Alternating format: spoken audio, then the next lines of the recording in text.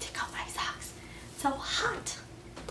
What happens to your skin when you don't moisturize them on a daily basis like I am guilty of?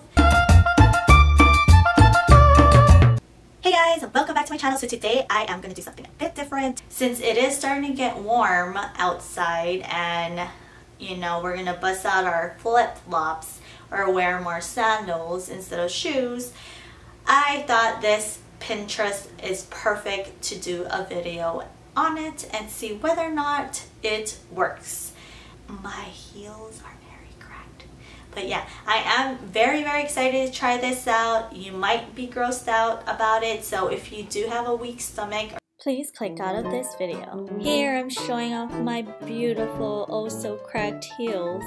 Hey, no judgment here. Girl gotta do, turn to Pinterest. Hey, Pinterest is like a girl's best friend. You can look up things that are trending, food related, DIYs, hmm, what else? Duh, beauty.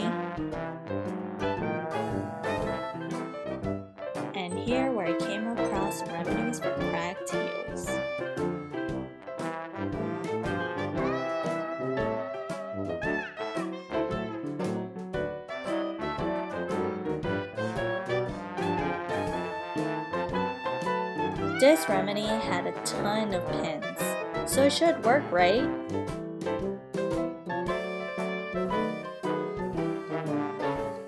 So all you need is apple cider vinegar and mouthwash or Listerine. You need half a cup of each. So here I'm pouring apple cider vinegar, half a cup.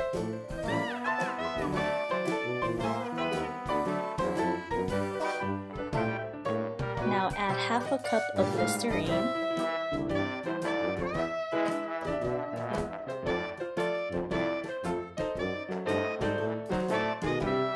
Then add one cup of hot water.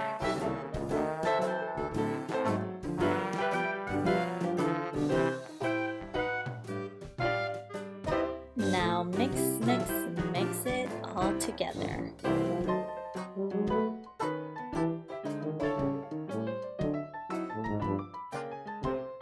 Set your timer for 30 minutes.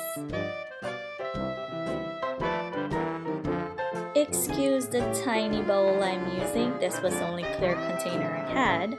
But now you want to soak your foot in the mixture, but use a bigger container if I were you. Now don't forget to hit start on that timer.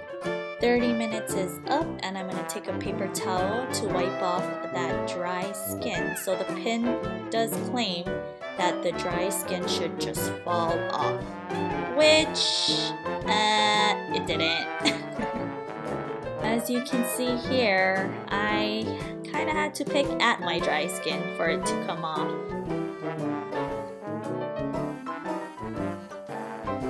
I even tried rubbing it, but still didn't work.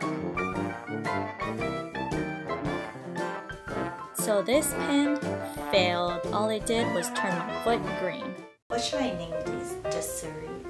These series. Thank you. Thank you. Thank you. Thank you again for tuning in and watching this video. I will see you guys in my next video. Bye.